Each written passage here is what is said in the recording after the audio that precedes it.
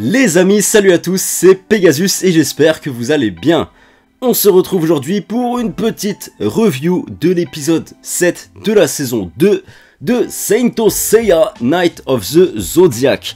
Alors, épisode 7 que j'attendais énormément parce que l'épisode 6 euh, c'était un épisode de malade. N'hésitez pas à aller voir la review que j'ai faite sur l'épisode 6 les amis parce que c'était vraiment un épisode de ouf, genre euh, masterclass le truc.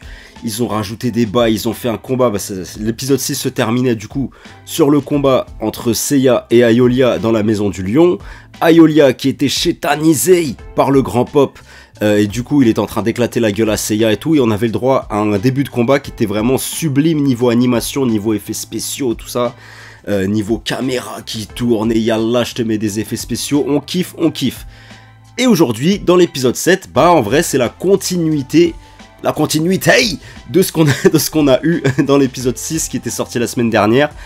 Ça veut dire que le combat entre Seiya et Ayolia se poursuit. Néanmoins, néanmoins, les amis, l'épisode commence avec une petite publicité avec le grand pop qui se baigne dans son hammam géant là. Il est à poil comme jamais et il se baigne et tout, et tu vois qu'il a des problèmes psychologiques, qu'il a une double personnalité.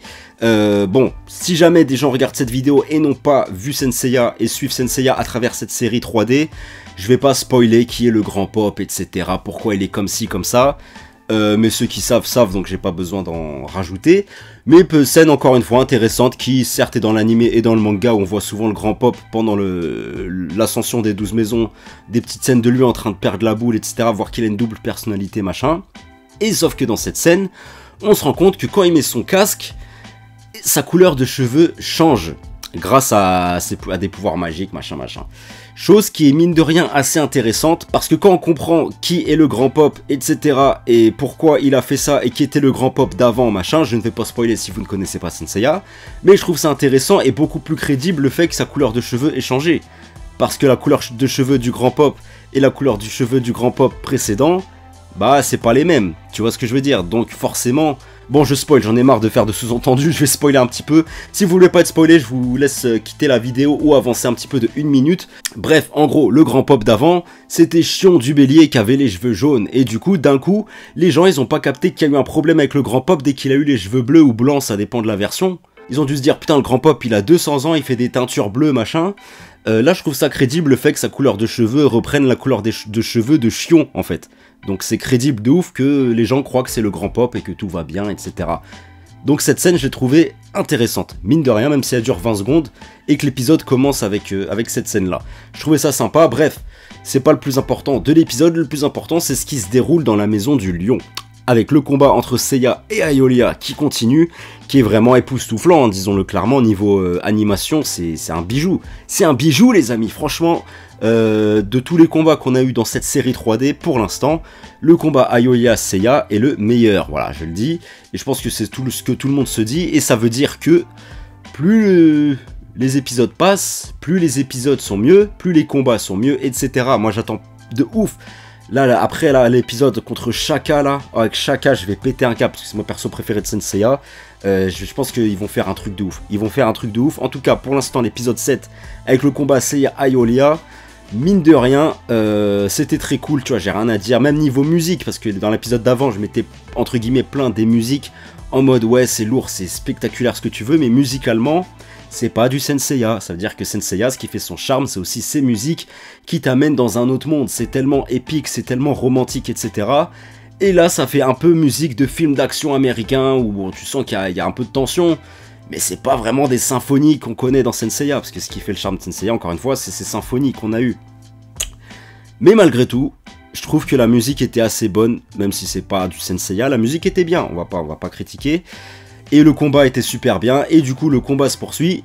Sauf que euh, il n'y a qu'une solution pour que Ayolia retrouve ses esprits, c'est que quelqu'un meure devant lui. Et c'est alors que débarquera Cassios. Alors Cassios, qui a débarqué, donc Cassios le premier ennemi de Seiya, donc il l'a vaincu Cassios à l'époque et a ainsi remporté l'armure de Pégase. Et dans cette série 3D, Cassius était devenu un chevalier noir avec une armure artificielle et tout. C'était G.I. Joe le bordel, ça puait la merde. C'était dans la saison 1, chose qui n'est pas du tout dans le manga ou dans l'anime, etc. Ça puait la merde. Bref, Cassius fait son grand retour. il est en vie, tout va bien, il a ses deux oreilles d'ailleurs, à noter qu'il a deux oreilles. Là où dans le manga et l'animé, bah il a qu'une oreille parce qu'il s'était fait couper euh, l'oreille par Seiya. Voilà, il s'est fait circoncire l'oreille le frérot. et du coup, euh, du coup voilà. Il débarque, etc. Et au début, on le prend un petit peu pour un méchant. Il fait le caïd en mode haha, c'est à moi de défoncer la gueule à Seiya, machin et tout. Sauf que en réalité, il est là pour aider Seiya. D'ailleurs, Cassius qui débarque dans la maison du lion, on sait pas comment, est-ce qu'il a traversé toutes les maisons pour venir jusque là, mais du coup, il serait tombé sur les autres chevaliers d'avant, Shun et Shiryu, là où dans le manga, justement, il les croise à l'entrée de la maison du lion. Dans le manga, il parle à Shiryu et Shun à l'entrée de la maison du lion, etc.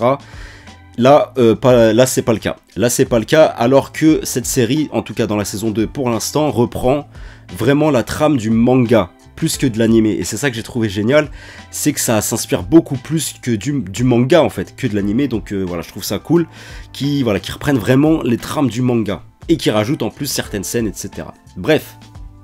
Cassius qui débarque, etc. Et là, je vais pas vous mytho, j'avais un petit peu peur, parce que c'est vient le moment où euh, Cassius doit se sacrifier pour sauver Seiya.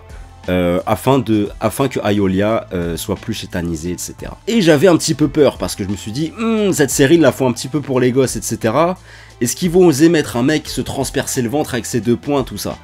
Et finalement, euh, le moment où il se transperce le ventre, on le voit pas, ce qui n'est pas plus mal au final. Et pourtant, on le voit juste après avec ses deux mains dans le ventre, etc. Et putain, on voit du sang On voit du sang, enfin Les amis, on voit enfin du sang dans Senseiya, bordel parce que quoi qu'on dise, euh, la saison 2 est géniale, etc. Mais on n'a pas vu beaucoup de sang. Hein. Alors que Senseiya, on va pas se mytho, c'est un manga sanglant. Même l'animé, il y a du sang à balles, etc. C'est sponsorisé par une marque de ketchup, euh, Senseiya de base, il y a du rouge partout. C'est sponsorisé par Heinz. Bref, et du coup, on a enfin vu du sang. Chose que normalement, même dans les animés aujourd'hui, qui sortent aujourd'hui, il n'y a pas beaucoup de sang, c'est censuré, etc. Tu vois des mecs qui se font couper la tête dans certains animés, il n'y a même pas de sang. Là, ils ont osé mettre du sang et je trouvais ça cool, ça donnait un peu plus d'émotion, de réalisme à la scène. Donc Cassius qui se sacrifie pour sauver Seiya, pour que Ayolia récupère ses esprits, sauf que Ayolia, il, va pas récupérer ses esprits, frère. Du coup, à ce moment-là, tu dis que le sacrifice de Cassius, ça servait à rien. Donc Seiya, il va éveiller son cosmos à son paroxysme, etc. Et d'ailleurs, avant que, avant que Cassius se sacrifie, ce que j'ai trouvé dommage, c'est que dans le manga, il se tape un petit peu avec Ayolia. Là, c'est vraiment, il débarque, il se tape pas, il se met des, ses poings dans, il se fait fister le ventre, et euh, voilà il meurt. Comme ça. Donc j'ai trouvé ça dommage, tu vois. Et la scène est vraiment beaucoup plus euh, niveau émotion, tu vois, dans le manga ou dans l'animé, j'ai trouvé ça beaucoup plus fort que dans la série 3D. Là, j'ai trouvé qu'ils auraient pu en faire plus, notamment sur, euh, je sais pas, de la musique en fait. Encore une fois, on revient à ce thème de musique, mais rajouter de la musique qui te met des frissons, tu vois. À ce moment-là, ça aurait été trop beau, parce que c'est une des scènes les plus emblématiques et symboliques de Senseiya. Cassius qui se sacrifie euh, pour sauver son pire ennemi, quand même. Mais il se sacrifie par amour pour euh, la personne que lui aime, Shaina donc. Shaina qui euh, est rentrée au sanctuaire, Ayolia l'a déposée, etc. Et Cassius a veillé sur elle pendant plus d'une semaine. Et Shaina, dès qu'elle a appris que Ayolia était chétanisée et que Seiya est en train de monter les 12 maisons et qu'il allait se faire éclater la gueule, elle voulait aller le sauver parce qu'on le sait, elle est amoureuse de lui. Même si, encore une fois, ça me fait chelou de voir euh, Shaina sans masque. Parce que son vieux maquillage, je dirais les chanteurs euh, du groupe de métal, je sais même pas si c'est du rock, du métal, euh, les mecs là, je crois que c'est Kiss, les chanteurs de Kiss là. Je dirais ça, frère. Franchement, j'ai encore du mal avec ça, mais encore une fois, la saison 2, bien, tout le bien qu'elle fasse, il y a certaines erreurs de la saison 1 qu'elle ne pourra pas réparer, comme le fait que Sean soit une meuf et que Shaina porte du maquillage dégueulasse. Mais euh, et en plus de ça, le fait qu'elle porte pas de masque, on comprend pas trop ce délire, pourquoi elle est amoureuse de Seiya, tout ça, etc. Mais enfin bref, ça malheureusement, ils auraient pas pu le réparer, le mal est fait, donc on va pas parler de ça 3 heures.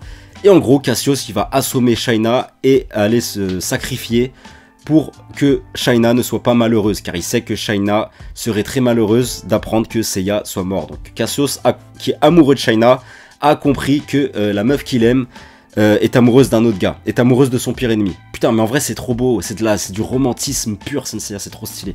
Bref, du coup, il va se sacrifier euh, devant les yeux d'Ayolia. Et voilà, encore une fois, sacrifice qui aurait pu être un peu plus.